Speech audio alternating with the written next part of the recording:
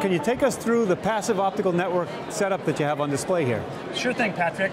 We have ourselves here a 10 gig XGS PON demonstration, but it's happening over a same system that also has a GPON running on it. So one is at 10 gigs, one is at 2.5 gigs. We have an OLT that would be sitting in a data center that used to house the old GPON, now has 10 gigs running on it.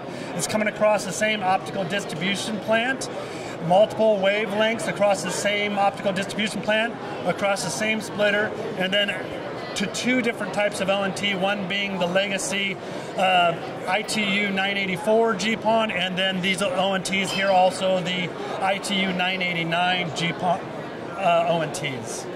John, can you tell us how this setup differs from the passive optical network that serves, say, an FTTH uh, application? Yes, so in this situation, we are working inside a commercial enterprise, inside a building across a campus. So we need to support advanced IP Ethernet protocols like uh, 802.1x and network access control. Right. And also there's the PoE side. We got to support the 802.3AT and 802.3AB, no BT, for the future 60 watt and 100 watt solutions. Concerning 10 gig, can you talk about the, the provision of 10 gig uh, in the enterprise, how it's done, and then the extent to which it's needed? And, and that's interesting because we're finding that our customers don't need 10 gig everywhere. They're going to need it very strategically at, at, places within the network. Let's say at a Wi-Fi, a WAP, or right. an IP camera. In this situation, you can install a PON card, pick the SFP, whether you want a 10 gig or a older GPON SFP. Then you can set an ONT right next to that high bandwidth device that needs either a 10 gig or a 5 gig or a 2.5 right. and have SFP plus and just plug those right in the ONT to get exactly the bandwidth you need to your end device. Excellent, John. Thank you. Mm-hmm. Kevin, on the topic of power in a passive optical network, traditionally local power is the way uh, that it goes. Can you tell me about uh, remote power, sort of what it is, why it might be implemented? Sure, Patrick. With remote power, what we're doing is distributing power from a centralized location. So we take normal 48 volt DC power that's uh, located like in an IDF, uh, maybe co-located with the OLT, right. uh, like a Tellabs uh, piece of gear, and then uh, over copper cable we transport uh, voltage that powers the ONTs that can be a few hundred feet away. Got it.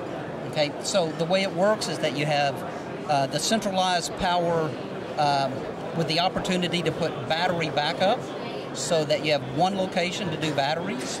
And in doing so, that allows you to provide uh, battery backup for the entire enterprise. I see.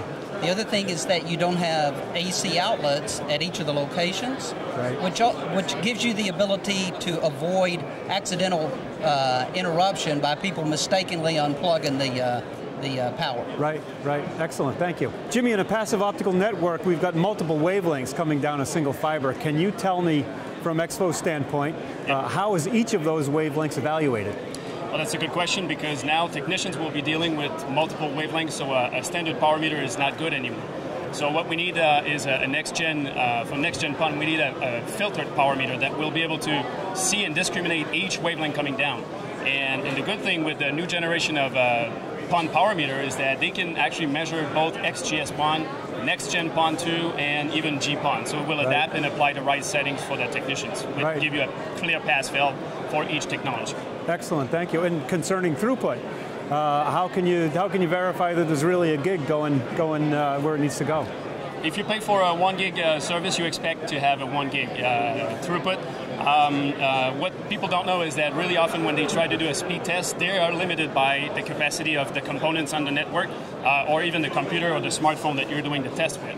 So we have uh, developed a true uh, one gig uh, throughput tester to really prove and certify to the end users that you're getting a one gig at the house. Perfect. Thank you. Thank you.